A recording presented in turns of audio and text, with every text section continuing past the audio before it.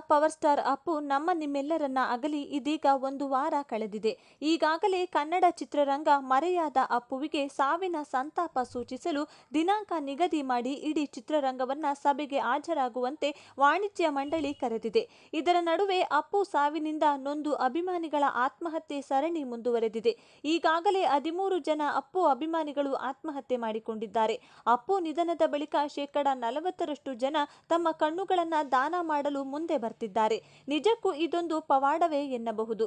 ಇದರ ನಡುವೆ ಅಪ್ಪು ಅವರ ಪತ್ನಿ ಅಶ್ವಿನಿಯವರು ತನ್ನ ಗಂಡನ ಸಾವಿನ ತನಿಖೆಯ ಬಗ್ಗೆ ಮೊದಲ ಬಾರಿ ಮಾತನಾಡಿದ್ದು ಏನ್ ಹೇಳಿದ್ದಾರೆ ಅಂತ ಕೇಳಿದ್ರೆ ನಿಜಕ್ಕೂ ಶಾಕ್ ಆಗುತ್ತೆ. ಹೌದು, ನಿನ್ನೆಯಿಂದ ಅಪ್ಪು ಸಾವನ್ನ ತನಿಖೆ ಮಾಡಿ ಅಂತ ಅಭಿಮಾನಿಗಳು ದೂರು ನೀಡುತ್ತಿದ್ದಾರೆ.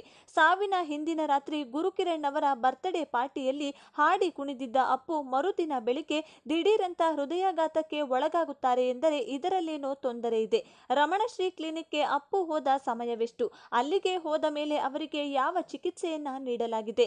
ಸಿಸಿಟಿವಿ ದೃಶ್ಯ ಎಲ್ಲವನ್ನ ಬಹಿರಂಗಪಡಿಸಬೇಕು ಅಂತ ಕೋರಿದ್ದಾರೆ. ಇತ್ತೀಚೆಗೆ ಪುನೀತ್ ಅವರು ಮನೆಯಿಂದ ಆಸ್ಪತ್ರೆಗೆ ಹೋಗುವ ವಿಡಿಯೋ ಒಂದು ವೈರಲ್ ಆಗಿತ್ತು. ಆ ವಿಡಿಯೋದಲ್ಲಿ ನಡೆದುಕೊಂಡೇ ಹೋಗುತ್ತಿದ್ದ ಅಪ್ಪು ದಿಢೀರ್ ಸಾಯಲು ಕಾರಣವೇನು? ವೈದ್ಯರು ಯಾವ ಚಿಕಿತ್ಸೆ ಕೊಟ್ಟಿದ್ದಾರೆ ಅಂತ ತನಿಖೆ ಮಾಡಿ ಎಂದು ಪಟ್ಟು ಹಿಡಿದಿದ್ದಾರೆ. ಇದರ ನಡುವೆ ಗಂಡನ ಸಾವಿನ ನೋವಿನಲ್ಲೂ ಹೆಂಡತಿ ಮಾತನಾಡಿದ್ದು, ನನ್ನ ಗಂಡನೇ ಇಲ್ಲ, ತನಿಖೆ ಮಾಡಿ ಏನು ಪ್ರಯೋಜನ?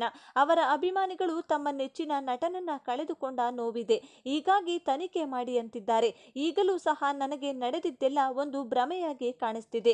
ಅಪ್ಪು ಇಲ್ಲೇ ಎಲ್ಲೋ ಇದ್ದಾರೆ, ಬರ್ತಾರೆ ಅಂತ ಕಣ್ಣೀರು ಹಾಕಿ ತಮ್ಮ ನೋವನ್ನ ತೋಡಿಕೊಂಡಿದ್ದಾರೆ. ನಿಮ್ಮ ಪ್ರಕಾರ ಅಪ್ಪು ಸಾವಿನ ತನಿಖೆ ನಡೆಯಬೇಕಾ? ತಪ್ಪದೆ ಎಸ್ ಆರ್ ನೋ ಅಂತ ಕಮೆಂಟ್ ಮಾಡಿ ತಿಳಿಸಿ. ಧನ್ಯವಾದಗಳು.